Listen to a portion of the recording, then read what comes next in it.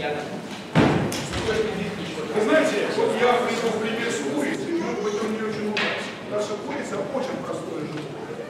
А вот если вы возьмете собаку, у собаки уже есть возможность альтернативного поведения. Во всех случаях голодная собака возбудит. Не во всех.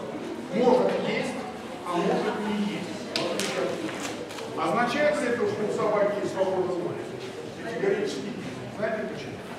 Потому что конечном счете решение будет принято на основании того, какой из чувств воздействия ощущения окажется движение.